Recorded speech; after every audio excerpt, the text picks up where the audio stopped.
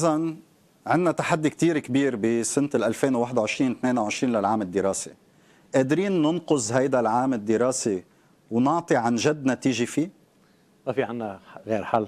نحن مضطرين نخليه للعام الدراسي يبلش وينجح. هلأ كل جامعة عندها خصوصياتها. بس من أهم الشغلات اللي لازم نحن نفكر فيها هي أمن التلميذ أمن الأستاذ أمن الموظف. ونخلي المستوى التعليمي يكون عالي لنحافظ على المستوى التعليمي بلبنان. هيدي مشكلة ما مفروض نفرط فيها. انفرطنا نحن بالتعليم العالي فرطنا بلبنان. هاي شغلة غير مسموح فيها لمين ما كان يكون. قادرين ننقذ العام ولا مضطرين نجرب؟ مضطرين نحاول مضطرين نعمل المستحيل لنخلي العالم العام الدراسي يبلش يكمل ونخلصه. واجهنا الصعاب بال 2019 وتخطيناها. واجهناها بال 2020 وتخطيناها.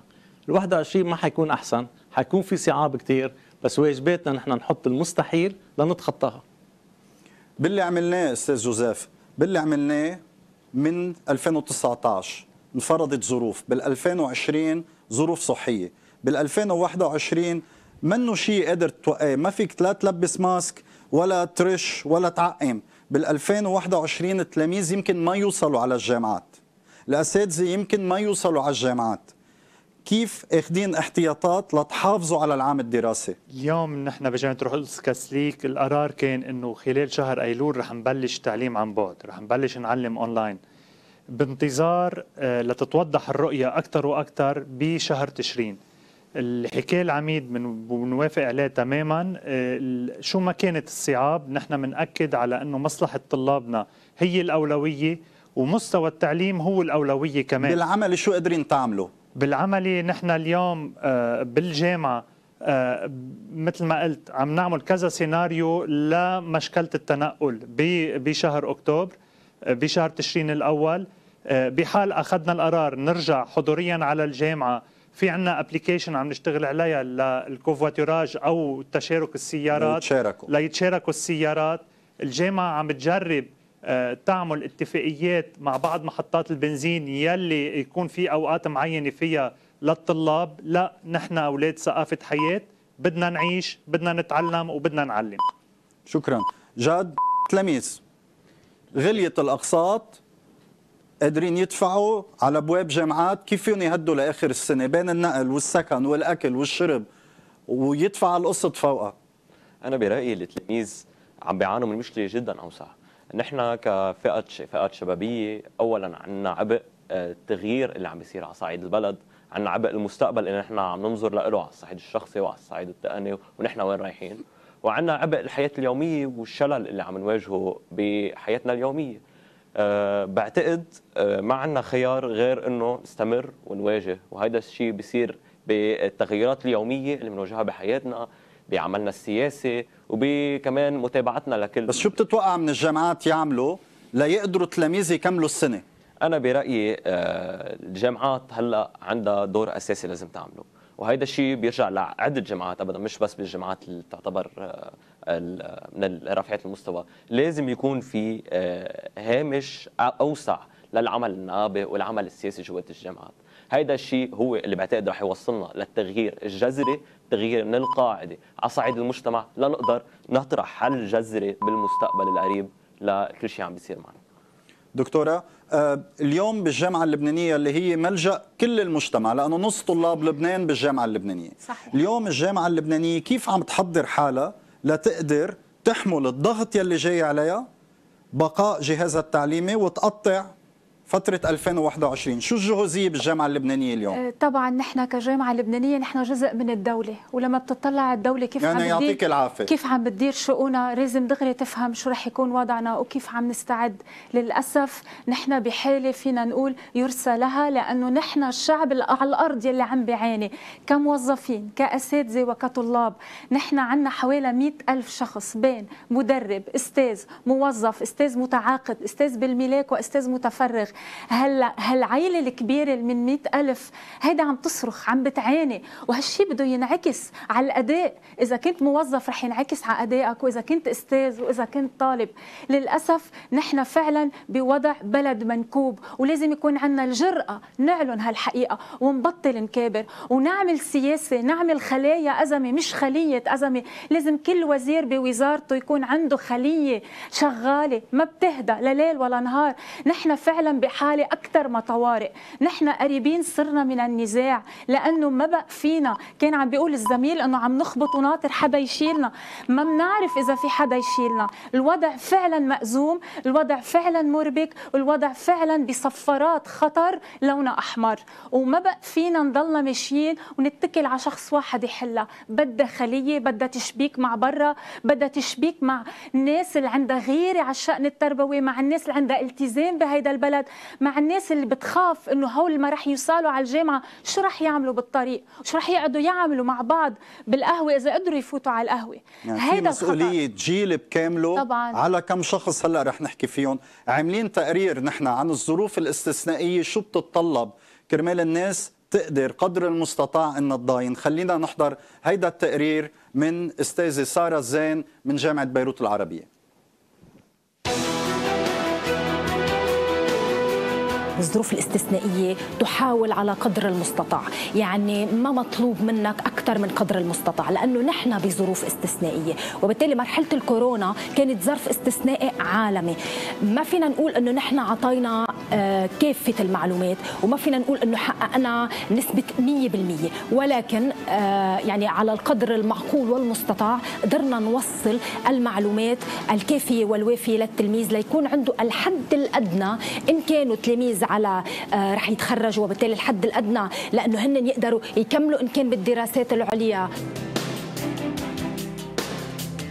وبالتالي إيه لا كان آه، كان عملية جدا صعبة ومرهقة بالنسبة لنا آه، بس برجع بقول لك هذا ظرف استثنائي. عشان هيك التوجه حاليا هو لل blended learning لأنه أفضل طالما أن التلاميذ ممكن نحن نكون على احتكاك مباشر معهم. بطبيعة الحال أكيد أفضل. كل الامتحانات لازم تكون on campus لتعطي الجديه يعني بالنهاية الطالب بخاف من الامتحان بخاف من إنه يسقط من الامتحان. نحن مرقنا ب... ب... نحن عملنا امتحانات ومرقنا بهيك تجارب. دكتور جوزيف اليوم قادر تكفل نوعية التعليم يلي عم بتصير بلبنان بشكل عام كشخص بيتابع مش بس بجامعته بالجامعات الباقيين. فينا نحن ننام مرتاحين انه كل تلميذ عم بيروح على جامعة بال 19 بالثورة وبال 20 بالكورونا وبال 21 هلأ عم ياخذ نوعية. دكتورة قالت أقل من 100% لأنه ظروف قاهرة. قد إيه بتصنف نسبة فعالية التعليم يلي عم نمرق فيه هلأ؟ خليني أقول لك شغلة. نحن كنا شوي محظوظين إنه ال shock كان أخف علينا من غير جامعات. نحن بلشنا من 2014 ندخل ال online education بنظامنا التعليمي. هذا الشيء خلينا نقدر نكون آه، بمحل معين أسرع من غيرنا نقدر نفوت ب trend ال online أو ال blended education بس في شغلة بدنا نفهمها ونتفق عليها ونكون أكيدين. رجوع على التعليم ال traditional أو التعليم التقليدي. ما بعتقد بقى العالم رح يرجع للتعليم التقليدي بعد الكورونا. بحياته. عالميا بحياته. أنا هي وجهة نظري الشخصية. فمش مجبورين فيه. هيدا تطور بي طبيعي صار بسرعة. بمحل معين صار في تطور يمكن آه تم استعجاله بمرحلة جدا آه آه كبيرة واضطرينا نروح ل 100% اونلاين بس نحن آه شفنا في إيجابيات كثير كبيرة لل online education في كورسات بالهندسة. قدرنا نعطيها بطريقة مختلفة وبغير كليات كمان قدرت توصل ال message بشكل أهون يلي هي الاسynchronous education يعني الطالب قدر يتعلم بوقت ما هو مرتاح كمان. هيدي شغلة آه، بعتقد إنه إذا فينا نضوي على الإيجابيات هيدي كانت من الإيجابيات للمرحلة اللي مرقت. يلي كسبناها. دكتور رامي كرمال هيد هيدا الموضوع تحديدا. اليوم بالهندسة بالعلوم التطبيقية بالعلوم قادرين الناس تدرس عن بعد بنعرف ناس درسوا من لبنان وهن مسجلين بجامعات بأوروبا. هل هيدا الشيء هو مستقبل التعليم؟ ليك التعليم عن بعد مش شيء جديد. بالبلاد الأجنبية ترجع لل 80 وال 90 وكنا عم نطبقها بالجامعة اللي أنا كنت أشتغل فيها ببريطانيا. انفرض علينا بلبنان وفرض على العالم كله ننتقل اونلاين بسبب الكوفيد. بلبنان قدرنا ننتقل نقله نوعية من face to face ل online بالرغم من إنه نحن ما عندنا هالتجهيزات بلبنان من ناحية الإنترنت سرعة الإنترنت بالبنى الكهرباء كلها. التحتية كلها ما في بنية تحتية. بالرغم من هيك واجهناها كجامعات وقدرنا نوصل المعلومات بأدق تفاصيلها بأحسن طرق لتلاميذنا ضمن هالإمكانيات المحدودة بلبنان. وقدروا عملوا أبحاث في كتير عنا تلاميذ وأكيد بالجامعات الأخرى. ونا بالعلوم التطبيقية أو بالعلوم- الإنسانية شو ما كان. بكل بكل شيء العلوم التطبيقية والعلوم الإنسانية وبالهندسة وقدرنا ننزل بمسابقات عالمية ونربحها. صحيح. يعني حتى بهالظروف الحالكه اللي عم نمرق فيها بلبنان يلي العالم أجمع ما مرق فيها لأنه كان عندهم كوفيد نحن عندنا كوفيد وكل المشاكل اللي حواليها. قدروا طلابنا يحطوا المجهود اللازم بمساعدة الأساتذة والموظفين لحتى ينجحوا عالميا من لبنان. فلما يكون أنت عندك the will you can achieve anything يعني لما يكون أنت عندك النية لتتعلم تقدر تحقق اللي تحقق بدك. إياه.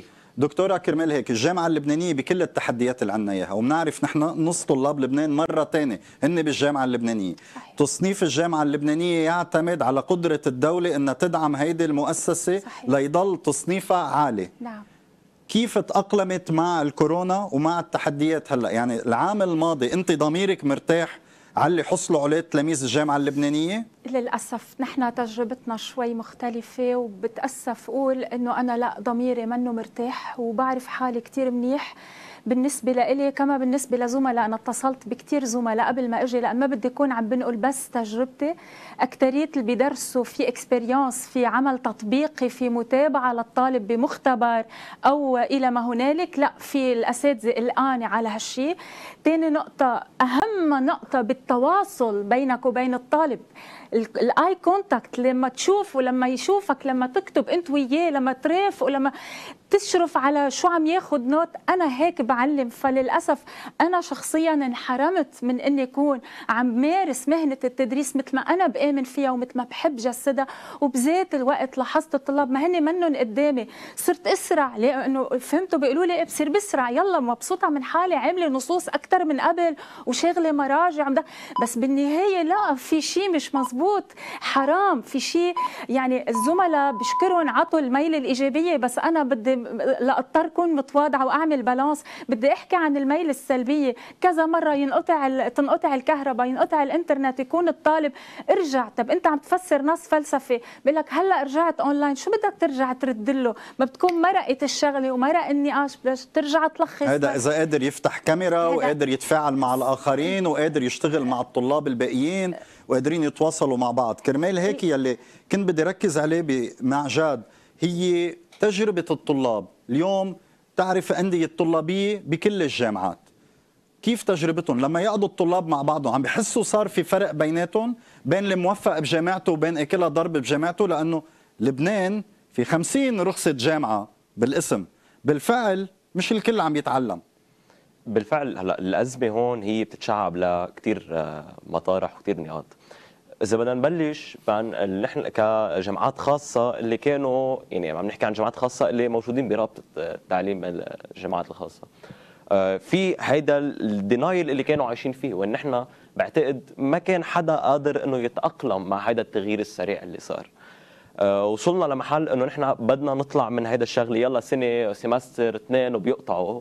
وصلنا لمحل إنه لا نحن بدنا نلاقي طرق مش بس الطلاب حتى الإدارات والأساتذة بدنا نقدر نلاقي طريقة نتأقلم مع الموضوع.